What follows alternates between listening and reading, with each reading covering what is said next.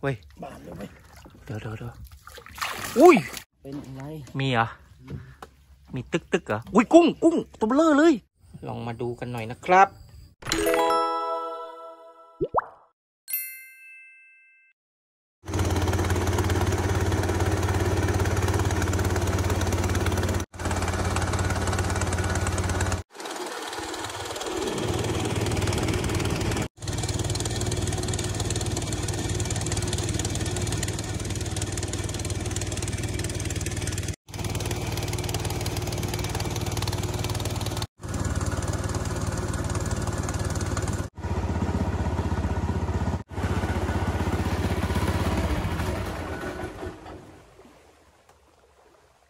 วัสดีครับ สวัสดีเพื่อนๆ พี่ๆ น้องๆ นานานะครับ วันนี้ช่างอเดชเอาเรือลงคลองน้ำเค็มเนาะ มากู้รอบใหญ่กันครับ เดี๋ยวตามไปลุ้นด้วยกัน ได้เรื่องหรือเปล่า คลิปก่อนได้ ปรากฏเหลืองน้ำจืดตัวโตไปตัวเดียวครับ อะ เดี๋ยวคลิปนี้ลุ้นกันหน่อย ทิ้งระยะไว้หลายวันอยู่ครับผม ไตไปแล้วครับไต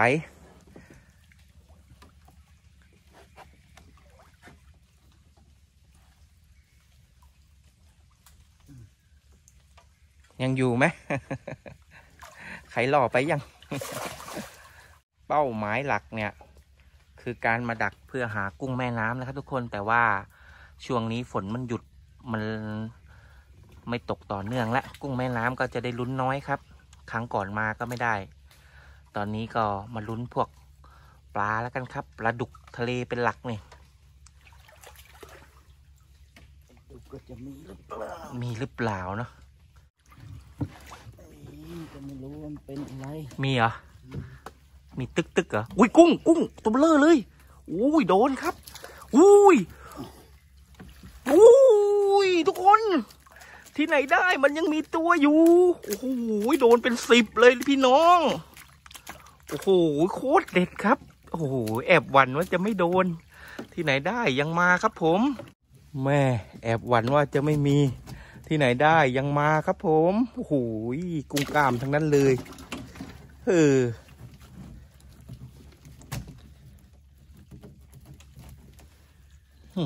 แต่ละตัวดูวยยาวเป็นศอกครับแต่ตัวนี้ก่อนตัวนี้ก่อนตัวที่ไอ้นันทับอะเออแอตัวที่ไอ้คิ้วรอบทับน่ะเออแต่กล้ามจะหักแม่อย่างนี้ชื่นใจครับโอ้โหดูตัวนี้ ดูความใหญ่เยอะ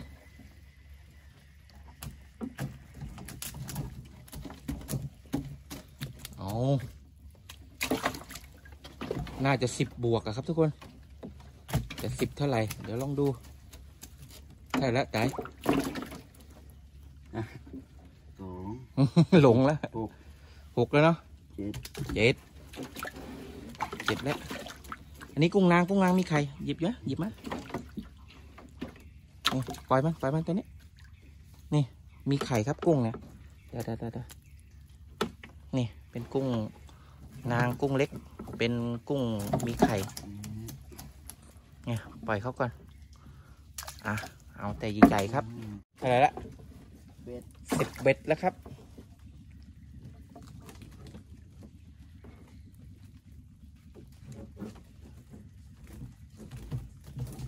สองสิบสอง สาม โอ้โหดูตัวนี้ใหญ่จริง นี่ดูตัวนี้ เนี่ยสี่สิบสี่อะเนาะ โอ้โห แล้วก็มีปลา โกะโกะเอาไปทุกคนไปดูลูกต่อไปครับช่างอเดชเห็นพี่ๆน้องๆนานาอ่า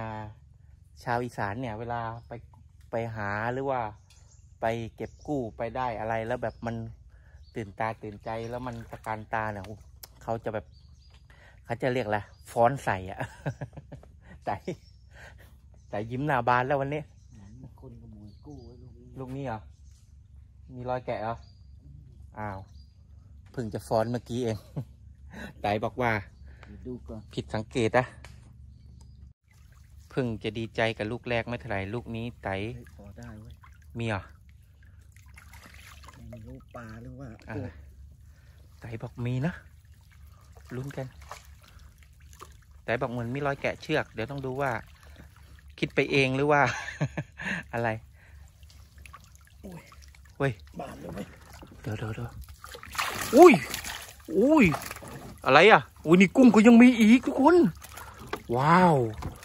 นู่นนู่นแล้วก็มีพวกปลาอมไข่อมไข่หลายตัวครับ แต่กุ้งนี่ยังโดนอีกโอ้ยสี่ห้าตัวแม่ลูกสองก็ยังเด็ด มันมีรอยแกะไม้ใช่ไหม แต่เหมือนว่าจะยังไม่ทันกู้นะแต่เนาะใช่เหมือนกับบางที อยากจะขโมยนั่นแหละ แต่ว่าเหมือนกับมีเรือผ่านไปผ่านมาซะก่อนก็เลยต้องไหวตัวอย่างนี้ใช่ไหมคนมัดรอบจะรู้นะว่า ลักษณะการมัดการวางเป็นยังไงอะ่ะ ลูกนี้เหมือนมีรอยเหมือนจ้องจะเล่นอยู่ครับมาแต่ก็ยังดีถือว่าโชคดีของเราครับ ที่เขายังไม่ทันได้ เอาไปเท่าไหร่นะสี่เนาะกุ้งห้าเหรอนี่ ลูกแรกเราใส่ถุงอ้วนไว้นะครับ แล้วก็แช่น้ำไว้ข้างเรืออยู่นี่นี่อะถุงไข่นี่ตัวโตๆครับแม่ของดีเลยอันนี้ไข่มาทุกคนลูกสุดท้ายครับ ลูกที่สาม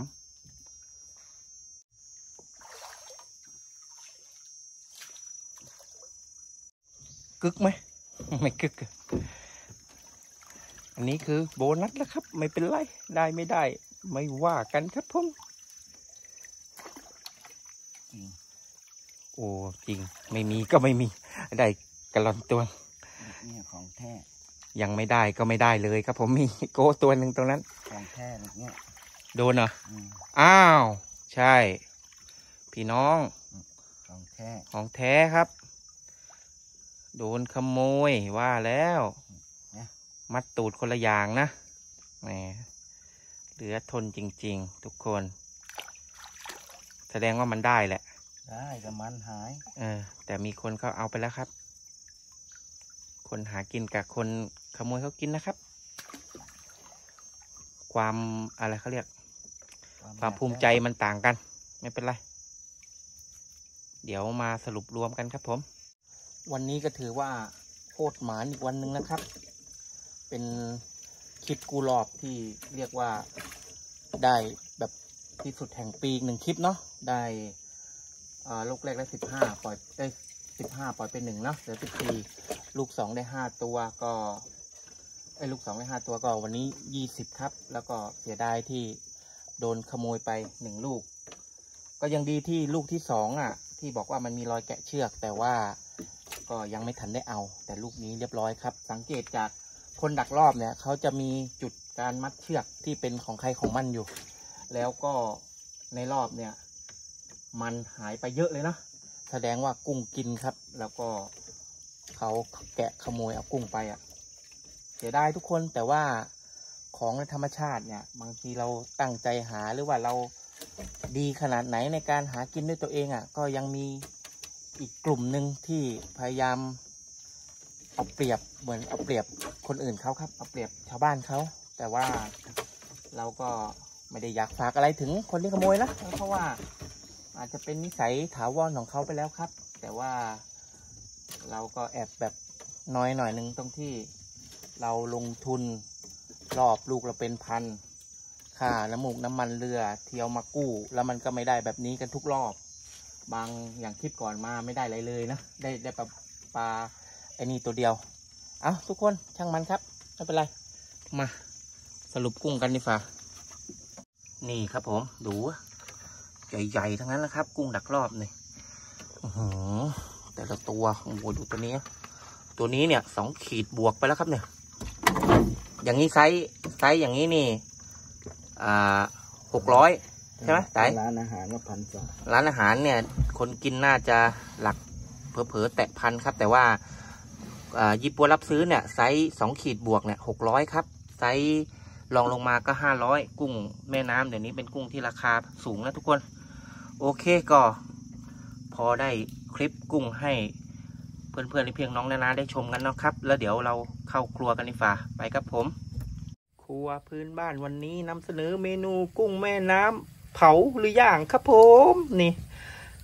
ผ่าครึ่งตัวแบบนี้แล้วก็ปิดฝาครับรอสุก ตัวเราย่างก่อนนะครับ แล้วเดี๋ยวไฟอ่อนๆแล้วค่อยย่างกล้ามเนาะกล้ามใหญ่มากนี่ดูแต่ละกล้ามครับ ลองมาดูกันหน่อยนะครับ ว้าวทุกคนโอ้โหมันเดือดผุดๆเลยครับ ไก่สุกแล้วไก่สุกแล้ว แล้วก็เสร็จเรียบร้อยครับผม กุ้งแม่น้ำย่างทุกคนมวยน่ากินสุดๆไปเลยครับ เดี๋ยวมาลองชิมกัน วันนี้ช่างเดชเอากุ้งมาฝากลูกชายนะครับ จัดแล้วนี่ โอ้จิ้มล่ะ จิ้มซอสเหรอ เอาเอาอือหือคำใหญ่ ๆ ครับนี่โอ้ โอเคโอเค พ่อรอตัวเล็กเขาอาบน้ำอยู่เขาบอกอย่าเพิ่งถ่ายคลิป อะเป็นไง มองกล้องรสชาติเป็นยังไง อร่อย อร่อยเนาะกุ้งสดๆกุ้งแม่น้ำจากธรรมชาติครับ ดูกล้ามนะว้าวชักยาวเป็นปูอัดเลยเอาโอ้จาก my god โอ้ my god จากนั้นทำยังไง อือหือ นะเอากันละเอาทุกทุกคนครับ เวลาผมผมเห็นอย่างนี้แล้วผม ผมผมคิดว่ามันเบื่อรังนกเลยครับรังนกอะไรเป็นรังนกมากเลอันยอะอันนี้มันเหมือนรังนกเหรอใช่แต่มันคืออะไร คือกุ้ง ใครชอบกินกุ้งย่างยกมือ นี่ ใครชอบกินมันกุ้งยกมือ เอ้านี่อะคนนั้นกินต่อเลยขงใครนชอบกินน้ำใครชอบดื่มดื่มน้ำกุ้งยกมือยกมือ เอ้าอะอะ เดี๋ยวไอคุโดหนึ่งตัววันนั้นอะไรกินมันเหรอเนี่ยดูมันจะลอกได้แบบนี้ครับนี่นี่นี่อะจิ้มอะจิ้มซอสไหน เด็กๆที่บ้านชอบครับ กุ้งเนี่ย อืม เยี่ยมไหม เยี่ยมนี่ ตัวเล็ก กินไม่ชอบกินกับข้าวตัวเล็กชอบกินเล่นครับ โอ้ยคืนน้ำลาย คนนั้นเล่นมันแล้วนี่อื้อหือก็คลิปนี้นี่หมานแบบสุดๆเลยนะ กับการกู้รอบในคลองครับ รอบ โอ้ยคืนน้ำลาย รอบใหญ่ของน้ำเค็มของเราอืมเยี่ยมไหมอร่อยมากเลยครับทุกคนเอออยากจะพูด อยากจะมีบทด้วย ก็กระเดี๋ยวช่างอเดชให้ ตัวเล็กกินข้าวนะครับ กับกุ้งย่างกุ้งเผาเนี่ยเนาะใครที่ชอบงานคลองน้ำเค็มกู้รอบใหญ่ๆแบบนี้เนี่ย ถ้าชอบก็กดไลค์กดแชร์ให้ช่างเดชด้วยนะครับ แล้วเดี๋ยวไว้พบใหม่คลิปหน้า คลิปนี้เราต้องลากันไปก่อนเนาะอ่าวางกุ้งก่อนปึ๊บสวัสดีพร้อมกัน สวัสดีครับบ๊ายบาย